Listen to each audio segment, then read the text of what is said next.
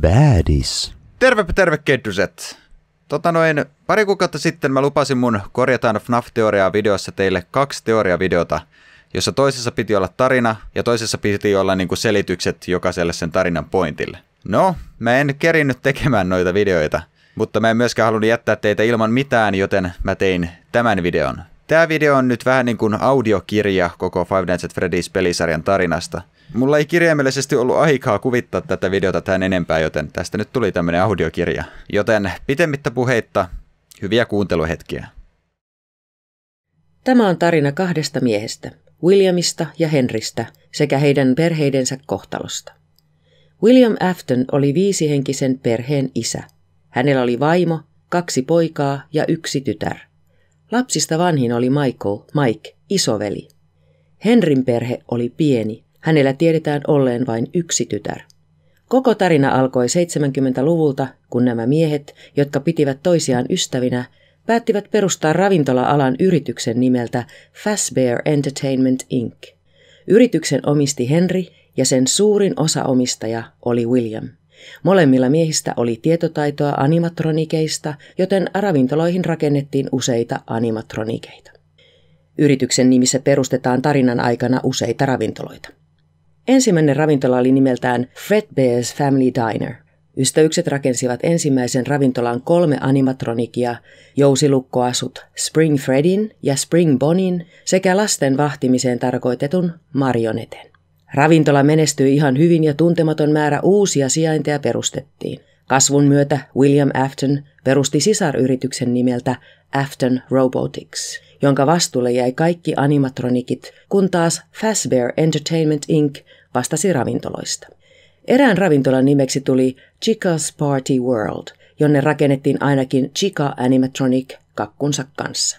Joihinkin kolmeen muuhun ravintolaan sijoitettiin omat animatronikinsa Freddy, Bonnie ja Foxy.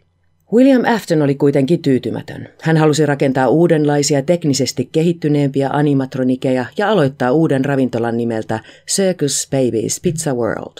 Hän ei kuitenkaan pystynyt siihen yksin. Hän tarvitsi Henrin tietotaitoja sekä Fazbear Entertainment Inkin resursseja. Henry ei nähnyt syytä sijoittaa teknisiin parannuksiin, sillä ravintolat menestyivät hyvin ilmankin, eikä suostunut auttamaan Williamia. William oli raivoissaan. Hänen suunnitelmansa ei voisi toteutua, jos Henry olisi päätösvallassa. Siispä hän päätti osoittaa Henrille, että nykyisten animatronikien tekniikka ei ollut riittävä ravintoloille. Ensimmäisen ravintolan marionette animatronikin tehtävä oli vahtia suuresta lahjapaketista kurkkien, etteivät lapset karkaa ulos ravintolasta. Kun William ja Henry olivat molemmat jousilukkoasuissa syntymäpäiväjuhlien aikana, asetti Henry marioneten vahtimaan vain omaa tytärtään, mistä ei sillä kertaa ollut hyötyä, sillä William oli tukkinut Mario- marioneten lahjapaketin estäen sitä vahtimasta ja johdatteli Henrin tyttären Spring Bonnie pukuun pukeutuneena ulos ravintolasta. Williamin tarkoituksena oli jättää tytär ulos kylmään sateeseen kuolemaan, mutta satunnainen ohikulkija ehti ensin. Hän ajoi autolla tytön viereen, vei hänet ravintolan taakse, tappoi hänet ja ajoi pois. Marionette vapautui lahjapaketistaan liian myöhään. Se ehti juuri ja juuri kulkea ulos ravintolasta talon ympäri tyttären luokse ennen kuin sade hajotti sen. Marionette lyhistyi kuolleen tyttären viereen ja tyttären henki siirtyi marioneten mekaaniseen kehoon. Henri oli täysin murtunut. Hänen tyttärensä kuolema sai hänet sulkemaan Fredbear's Family Dinerin. Uudistukset olivat pakollisia bisneksen jatkamiseksi, joten hän antoi Williamille vapauden tehdä mitä halusi ja suostui auttamaan uusien animatronikien rakentamisessa. Myös Williamin vaimo osallistui rakentamiseen.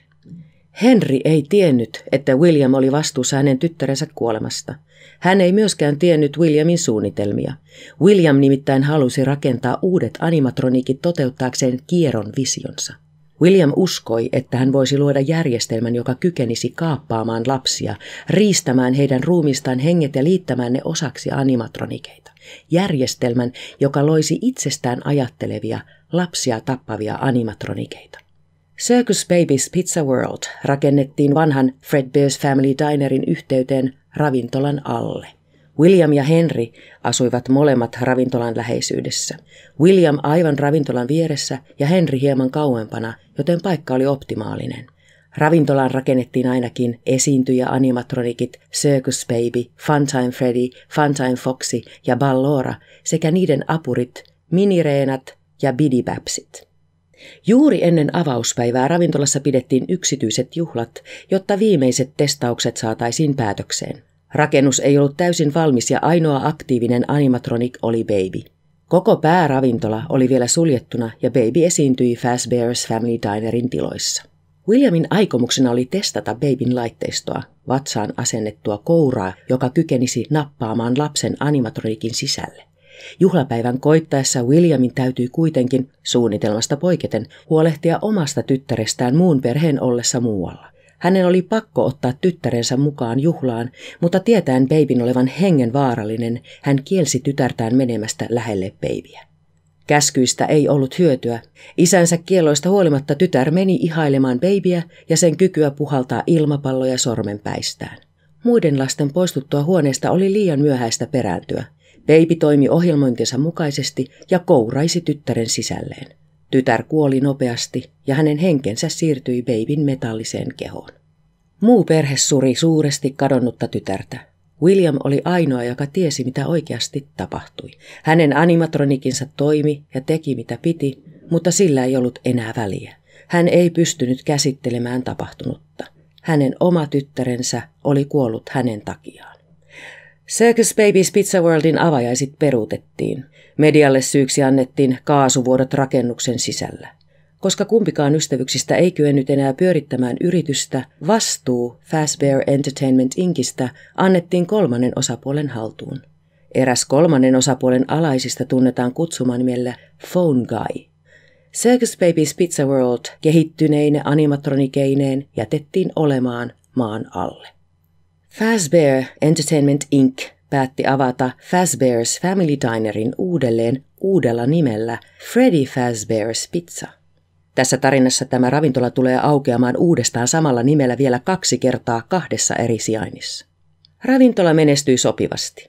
Muutamia syntymäpäiviä pidettiin. Samoin menestyivät vielä siihen aikaan olleet Chican, Fredin, Bonin ja Foxin omat ravintolat. Freddy Fazbear's pizzassa olivat edelleen vain jousilukkoasut Spring Freddy ja Spring Bonnie sekä niiden kaksoiskappaleita.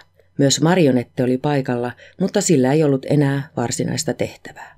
Ravintolan jousilukkoasuja käyttivät satunnaiset uudet työntekijät. Phone Guy teki heitä varten muutamia nauhoituksia, jotka ohjeistivat, miten jousilukot kiristetään ja asuihin mentiin sisälle. Hän ohjeisti työntekijöitä myös käyttämään turvahuoneeksi kutsuttua huonetta, jonne animatronikit eivät voi mennä, mikäli jousilukkoasut yllättäen napsahtaisivat kiinni tai tulisi jokin muu hätätilanne. Myöhemmin Williamin vaimo kuolee suruun ja William jää yksin kahden poikansa kanssa. Vielä myöhemmin hänen nuoremmalla pojallaan on syntymäpäivät. On vuosi 1983. Koska Freddy Fazbear's Pizza on hyvin lähellä Aftonien kotia, William päättää pitää poikansa syntymäpäivät siellä. Tuohon aikaan lasten keskuudessa liikkui kauhutarinoita siitä, kuinka animatronikit heräävät öisin eloon ja jos kuoli, ne piilottivat ruumiin. Pikkuveli oli kauhuissaan ja pelkäsi ravintolaa ja animatronikeita kuollakseen. Hänen ainoa turvansa oli hänen Fred B. pehmolelunsa.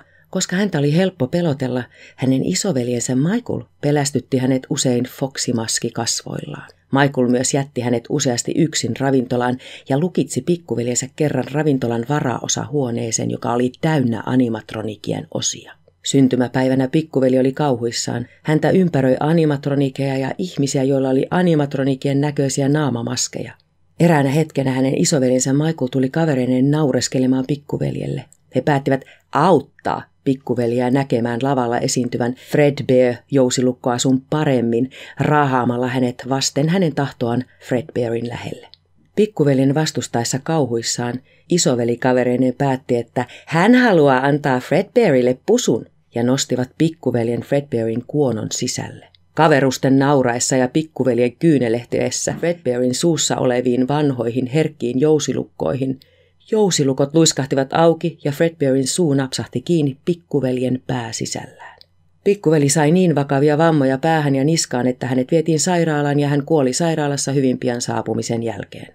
Ennen hänen kuolemaansa häntä oli hyvästelemässä hänen isoveljensä Michael, isänsä William Henry ja joukko hänen ystäviään. Michael oli pahoillaan tapahtuneesta pyytäen anteeksi veljeltään. William taas lupasi pojalleen, että kokoaa hänet takaisin kokoon, mitä ikinä hän sillä tarkoittikaan. Tapahtumien johdosta Fashbear Entertainment Inc. päätti lopettaa jousilukkoasujen käytön kaikissa ravintoloissa. Se päätti myös lopettaa kaikki turvahuoneet ja muurata ne umpeen. Ravintola ei myöskään menestynyt enää kovin hyvin, minkä vuoksi se päätti lopettaa kaikki neljä sivuravintolaa, mukaan lukien Chica's Party Worldin ja siirsi Chican, Fredin, Bonin ja Foxin Freddy Fazbear's pizzan tiloihin. Se päätti myös hyödyntää Circus Baby Pizza Worldin animatronikeita perustamalla rinnakkaisyrityksen nimeltään Circus Babies Entertainment and Rental. Rinnakkaisyrityksen ideana oli vuokrata Funtime animatroniceja päivisin erilaisiin tapahtumiin, mikä toimikin jonkin aikaa. Mutta yrityksistä huolimatta ravintola ei pystynyt pysymään voittoisana ja Fazbear Entertainment Inc. päätti sulkea vanhan paikan ja aloittaa alusta uudessa ravintolassa. Uusi ja isompi ravintola nimettiin edeltäjänsä mukaan Freddy Fazbear's Pizzaksi. Fazbear Entertainment Inc. aikoi ensin kunnostaa ja parannella vanhat animatronikit, mutta päättikin niiden huonon kunnon takia rakentaa uusia rikollistietokannalla ja kasvon tunnistuksella varustettuja animatronikeita. Animatronikit olivat Balloon Boy, Toy Freddy, Toy Bonnie, Toy Foxy ja Toy Chica. Marionette oli ainoa vanha animatronik, jota käytettiin uudessa Freddy Fazbear's Pizzassa. Muut joutuivat varaosahuoneeseen säilöön. Ravintolalla alkoi ihan hyvin. William ei kuitenkaan ollut tyytyväinen. Hän oli menettänyt kaksi lastaan rakentamiensa koneiden johdosta. Hän halusi tuhota koko Fazbear's Entertainment Inkin, mutta koska hän ei ollut enää omistaja, oli hän voimaton. Siispä hän kehitti kierron suunnitelman. Hän tappaisi lapsia ravintolan tiloissa, jotta paikka saisi taas huonon maineen ja joutuisi sulkemaan. Eräänä iltana ennen paikan sulkemista William meni salaa ravintolaan ja etsi tiensä sen varaosa huoneeseen, missä hänelle tuttu jousilukkoasu Spring Bonnie sijaitsi. Hän puki asun päälleen ja lähti etsimään lapsia. Samaan aikaan sillä hetkellä työssä ollut päivävalvoja oli jostakin syystä poissa ravintolan juhlatiloista. Löydettyään lapsia William houkutteli heidät erilleen muista ja tappoi heidät. Ensin kaksi, sitten yksitellen kolme lisää. Hän sijoitti lapset eri huoneisiin lähelle nurkkia. Kaikki tämä tapahtui hyvin nopeasti ja William olikin poistunut ravintolasta ennen kuin päivävalvoja palasi. Kuitenkin, vastoin Williamin odotuksia, mitään ei tapahtunut. Poliisi ei ilmaantunut paikalle. Mitä William ei tiennyt oli, että marionette, Henrin tyttären sielu sisällään oli herännyt, kerännyt lapset ja pistänyt heidät vanhojen animatronikien Chican, Fredin, Bonin, Foxin ja Fredbearin sisään. Päivävalvoja oli palannut kummastelemaan hiljaisia juhlatiloja vasta marioneten toimien jälkeen ja ilmoittanut lapset kadonneiksi. Poliisi alkoi tutkia ravintolaa vasta seuraavalla viikolla. Valvontakamerakuva paljasti, että kultaiseen Springboni asun pukeutunut mies oli johtanut kaksi lasta takahuoneeseen ja vain mies oli palannut. Poliisi linkitti nopeasti kaikki lasten katoamiset murhiksi ja syylliseksi epäiltiin päivävalvojaa. Epäilyn jälkeen ravintola sulkisi ovensa joksikin aikaa, kunnes päivävalvoja oli tuomittu, mutta ennen sulkemista pidettiin vielä yksi tapahtuma, jossa Jeremy Fitzgerald oli päivävuorossa. Tapahtuman aikana yksi uusista toy-animatronikeista hyökkäsi Jeremyn kimppuun purren hänen otsalohkonsa palasiksi.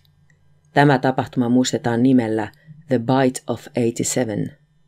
Pureman jälkeen ravintolalla ei ollut enää toivoa. Sen oli pakko sulkea ovensa pysyvästi jo kahden viikon jälkeen. Vialliset toy-animatronikit purettiin osiksi ja säilöttiin vanhojen animatronikien kanssa. Ravintolan sulkeutuminen ei tyydyttänyt Williamia. Hänestä oli muodostunut mielipuoli, joka ei välittänyt enää kenestäkään, ja hän halusi tappaa lapsia enemmän kuin koskaan. Hän halusi hakea luomansa Funtime animatronicit pois Circus Babies Pizza Worldin tiloista. Samoihin aikoihin Circus Babies Entertainment and Rentalin yövartijat olivat alkaneet yllättäen katoilla. Williamin kuultua asiasta hän yhdisti nopeasti palaset kohdalleen ja aavisti, mistä oli kyse – Oliko hänen järjestelmänsä toiminut? Oliko hän luonut täydellisen tappokoneen? Tappokoneen, joka ei vainoavan hengen takia voisi tuhoutua. Oliko hänen tyttärensä henki ottanut babyn vainotakseen? Tajuttuaan tilanteen luonteen William ymmärsi, että olisi itse murhaa mennä alas Circus Babies Pizza Worldiin hakemaan babyä. Hän päättikin lähettää itsensä sijasta poikansa Michaelin. William toivoi, että hänen tyttärensä henki tunnistaisi veljensä ja säästäisi hänen henkensä. William kertoi Michaelille haluamansa hänen menevän Circus Babies Pizza Worldiin hakemaan baby animatronikin. Michael kummastui isänsä yhtäkkistä outoa pyyntöä ja vaati selityksen. Tilanne eteni siihen pisteeseen, että Williamin oli kerrottava, mitä hänen siskolleen oikeasti tapahtui yksityisten juhlien aikana. Michael yhdisti isänsä nopeasti viiden lapsen murhiin, jotka isä piinallisen keskustelun lopuksi myönsi tehneensä. Michael oli raivoissaan. Hän vannoi isälleen, että saisi hänet vielä telkien taakse. Riippumatta isänsä tahdosta, hän halusi kuitenkin pelastaa siskonsa Circus Babies Pizza Worldin uumenista.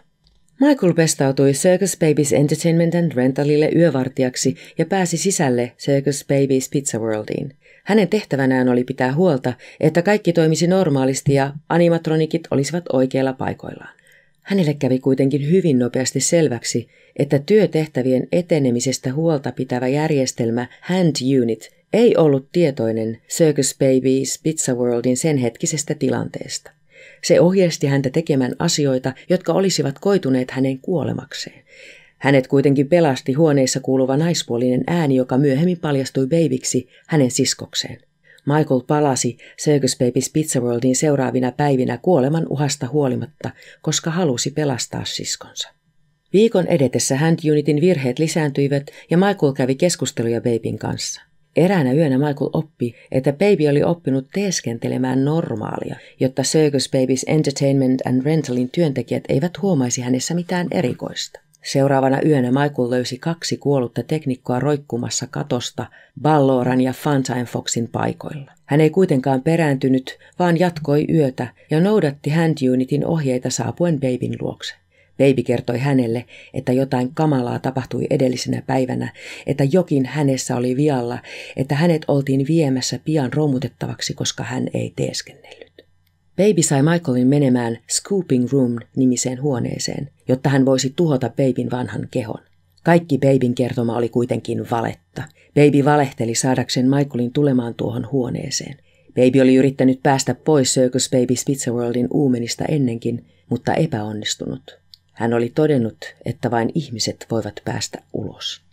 Baby käytti Scooper-laitetta Michaelin tehden hänen ruumiinsa sisälle tilaa, jotta heidän kaikkien Babyn, Balloran, Funtime Fredin ja Funtime Foxin metallilangat pysy- pystyisivät työntymään Michaelin sisälle. Toimenpide onnistui. Metallirangat yhdistyivät Michaelin ruumiin kanssa luoden olennon, jota ohjasivat animatronikit, mutta joka näytti ulospäin Michaelilta. Babyn suunnitelma toimi, ja animatronikit pääsivät ulos Circus Babies Pizza Worldin uumenista ulkomaailmaan. Muutama vuosi myöhemmin avattiin taas uusi ravintola, jonka nimeksi tuli Freddy Fazbear's Pizza. Se oli jälleen uudessa sijainnissa, tosin tällä kertaa edeltäjänsä paljon vaatimattomammassa ja pienemmässä ravintolassa. Ravintolassa olivat käytössä vanhat animatronikit Chica, Freddy, Bonnie ja Foxy. Jousilukkoasut Fredbear ja Spring Bonnie oli säilytty ravintolan erääseen takahuoneeseen. William ei voinut sietää sitä, että yhtiö oli vieläkin elossa. Ennen uuden ravintolan avautumista William tunkeutui rakennukseen yön varjoissa. Hän tuhosi vanhat animatronikit täysin, jotta niitä ei voisi käyttää ravintolassa. William ei kuitenkaan osannut odottaa, että vanhat animatronikit olivat kuolleiden lasten henkien vainoamia. Animatronikien tuhouduttua henget vapautuivat kahleistaan ja alkoivat lähestyä Williamia. William oli kauhuissaan ja etsi hätäisesti turvapaikkaa. Hän päätti pukea päälleen takahuoneessa lojuneen hänen käyttämänsä vanhan Spring Bonnie jousilukkoasun. Tämä oli kuitenkin virheliike, sillä tyhjillään ollut rakennus oli hyvin kostea, mikä sai jousilukot epävakaiksi. Luullessaan jo selvinneensä, asun kaikki jousilukot napsahtivat samanaikaisesti kiinni lukiten Williamin sisälleen. Williamin kohtalo vapautti tapettujen lasten henget kärsimyksestään. Williamilla sen sijaan kärsimys vasta alkoi. Spring Bonnie, asua, vainosi, nyt hänen oma henkensä. Ravintolan piti nopealla aikataululla korjata animatronikit, joten niitä yksinkertaistettiin. Päällyskuoria korvattiin suuremmilla paloilla ja pyöreämmillä linjoilla. Ravintola aukesi ja menestyi ihan hyvin. Samalla William makasi löytämättömänä ravintolan turvahuoneessa. Michaelin ruumis animatronikit sisällään alkoi hajota ja mädäntyä metallirankojen ympäriltä. Animatronikien oli pakko hylätä ruumis, sillä se alkoi herättää liikaa huomiota. Metallin rangat syöksyivät ulos Michaelin ruumista ja kuollut ruumis luhistui maahan. Todennäköisyyksien vastaisesti ruumis ei ollut eloton. Hänen oma henkensä oli ottanut ruumiin valtaansa. Häntä ajoi eteenpäin viha. Hän halusi kostaa isälleen, mitä tämä oli tehnyt. Michael aloitti isänsä etsinnät Freddy Fazbear's pizzasta.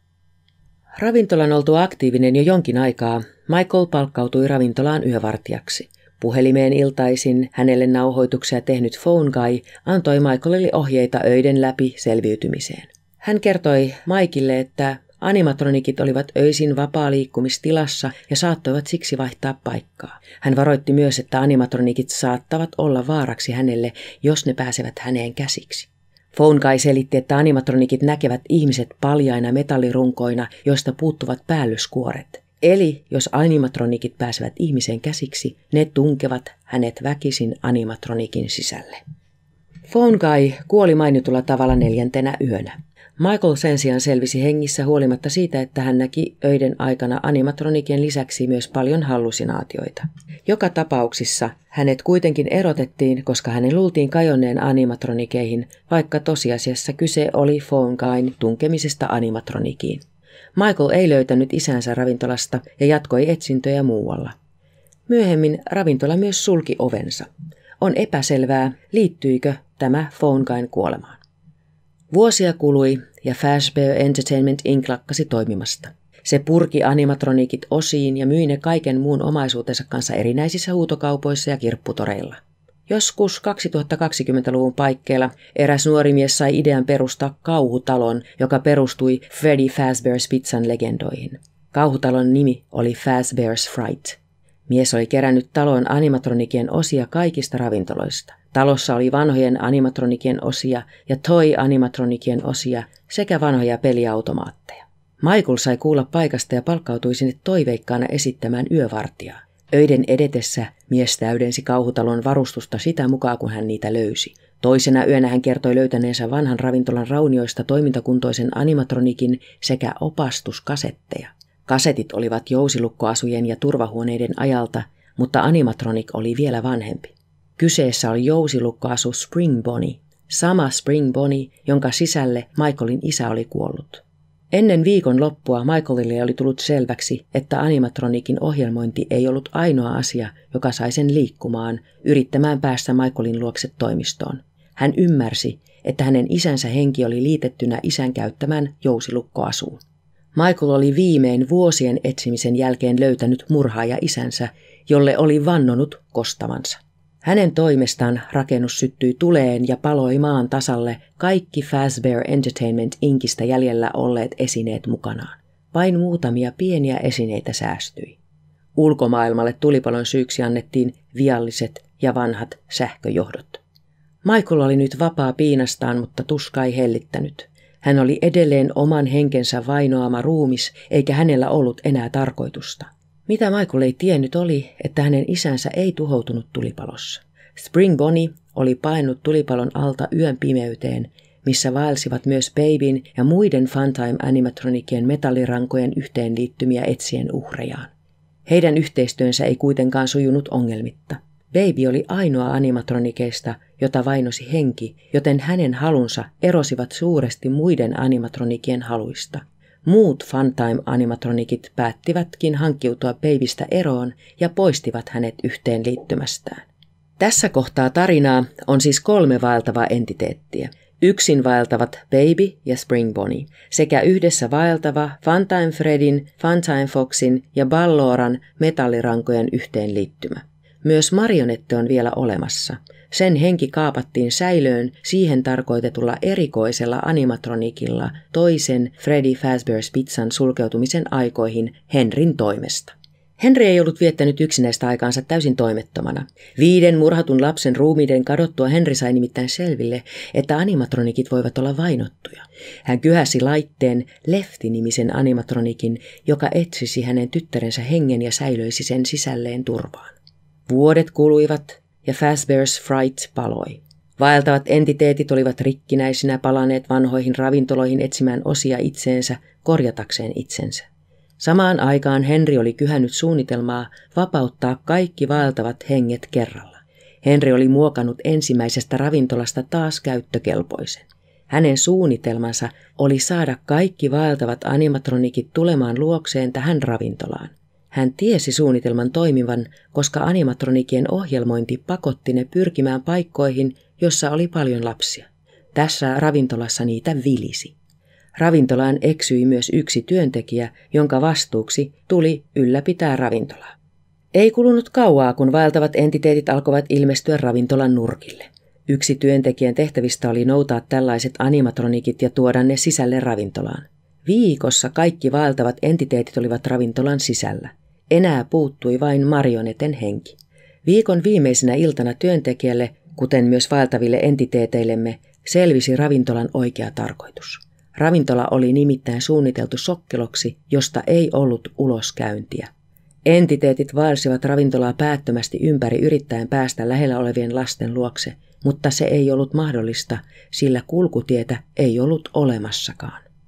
Henri itse toi marioneten hengen paikalle lefti animatronikissa ja käynnisti suunnitelmansa viimeisen vaiheen. Hän itse sytytti ravintolan tuleen polttaakseen kaikki viimeiset rippeet Fazbear's Entertainment Inkistä ja vapauttaakseen viimein vangitut henget metallisista ruumiistaan.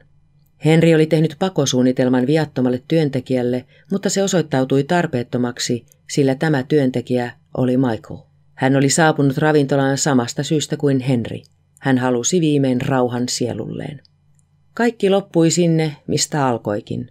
Ensimmäinen ja viimeinen ravintola paloi täysin kaikki viimeiset animatronikit sisällään, puhdistaen maailman lopullisesti vainotuista entiteeteistä. Henri sai viimein rauhan. Hänen ja Viljamin yhdessä rakentamat tappokoneet tuhoutuivat ja yhtiön hengille aiheuttama tuska saatiin päätökseen. Näin päättyi tarina kahdesta miehestä. Tämä tarina on minun teoriani. Se on teoria, joten kaikki sen kohdat eivät välttämättä pidä paikkaansa. Tämän tarinan tekeminen on ollut ehkä pitkäkestoisin projektini koko elämässäni. Olen käyttänyt lukuisia päiviä tutkien nettisivuja, pelaten pelejä, keskustellen useiden yhteisöjen kanssa ja kirjoittaen asioita muistiin. Tämä tarina ei ole mikään tuulesta temmattu loru. Kirjoittaessani tätä tarinaa mä oon ottanut huomioon kymmenet FNAFin aikana ilmestyneet teaserkuvat ja lisäsisällöt, sadat FNAFista kertovat sivut, wikit, redditit, lore-sivut sekä näiden sivustojen Discord-yhteisöjen fiksujen teorioijien tiedot, mielipiteet ja omat teoriat. Eikä unohdeta itse pelejä, jota olen jokasta itse pelannut. Suuri osa tämän kertomuksen ydinkohdista on perusteltavissa useilla eri yksityiskohdilla. Jotkut kohdat taas on perusteltavissa vain heikoilla todisteilla. Tässä tarinassa on myös kohtia, jotka ovat kiistanalaisia. Niistä tiedetään niin vähän, että käytännössä mikä tahansa tapahtumaketju olisi voinut aiheuttaa ne. Minä olen siis itse keksinyt näihin kohtiin tapahtumaketjut, jotka eivät ole ristiriidassa ydinkohtien kanssa ja jotka sopivat tarinaan. Olen myös itse värittänyt tapahtumien taustoja ja luonut henkilöille loogisia motiiveja. Katsokaas, Five Nights at Freddy's pelisarjan tarina ei ole yksinkertainen, eikä siitä todellakaan tiedetä kaikkia. Kysymyksiä on enemmän kuin vastauksia.